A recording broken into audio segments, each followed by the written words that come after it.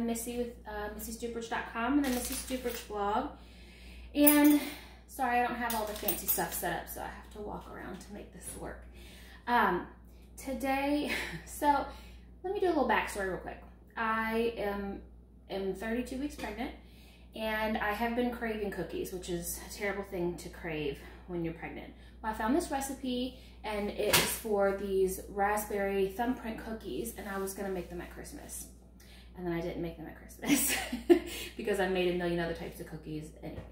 So I really wanted some and sometimes, honestly, I, I never use store-bought cookie mix. I just don't. I have been baking for close to 20 years and I just feel like if I'm gonna bake, I've always got flour, I've always got baking powder, eggs, you know, most of the things that you need, sugar, I've always got everything. So why am I going to buy a $4 package of mix?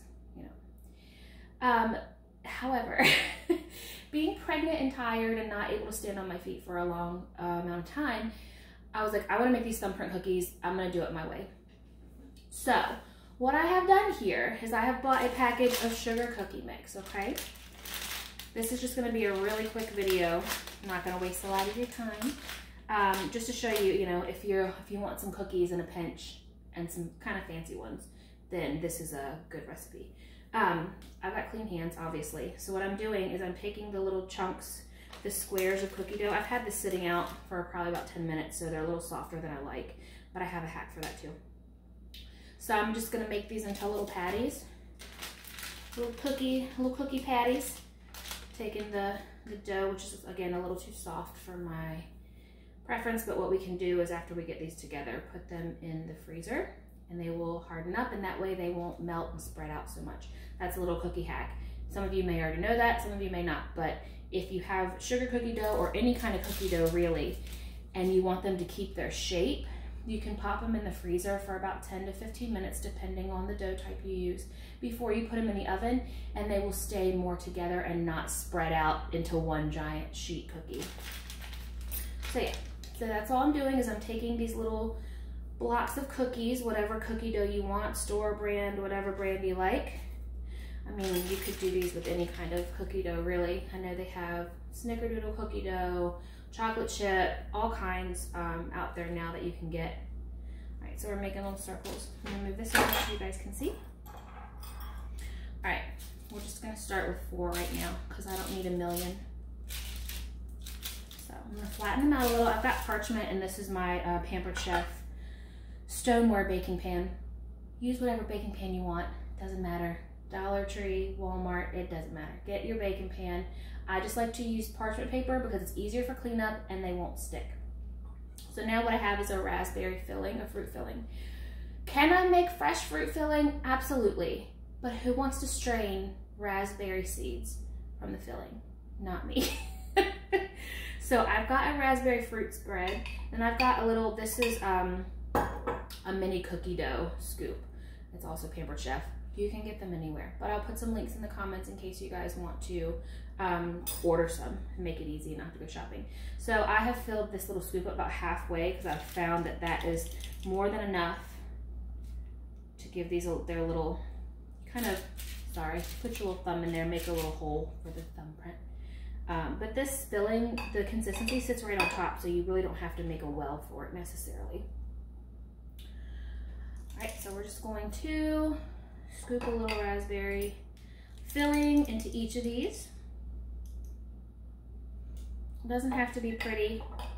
You can make it pretty if you want. You can get a little piping bag and pipe it in there. However, this is just convenient for me, easy cleanup. I don't have to worry about it.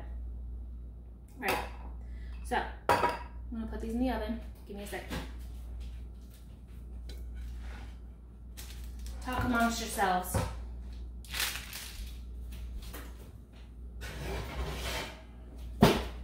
Okay, bake them according to your oven's um, or the package description. Usually cookies are anywhere between 8 minutes to 14 minutes depending.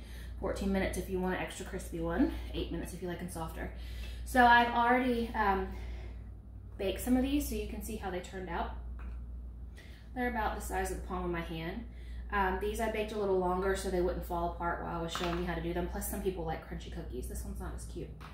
But you see, we've got our filling, which is the important part. What I'm gonna do now is I've got about half a cup of powdered sugar in here. We're gonna make a little drizzle for it because that's what the recipe said to do, so we're gonna do it.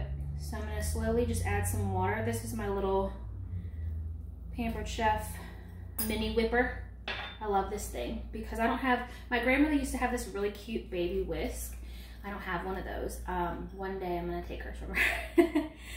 All right, so I added probably about a teaspoon of water, but honestly just add a little bit.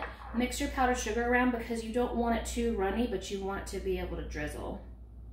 Okay, so I've got my little whisk. I've mixed that up. You can drizzle with this, but if you want to make more exact lines um, or measure how much is coming out, just grab a spoon. What we're going to do is take our glaze. Now, some people add lemon juice to this. You can, if you're doing like a um, snickerdoodle or like a maybe one with an apple filling, you could throw some cinnamon in here, um, some apple pie spice, pumpkin pie spice. If you want to do pumpkin thumbprint cookies, whatever you want to do, it's up to you there are tons of things you can play around with. So we're gonna drizzle, just drizzle right across the top. Really easy. I can't wait to try these. Now you may wanna make your um, glaze a little bit thicker if you wanna make sure it dries hard.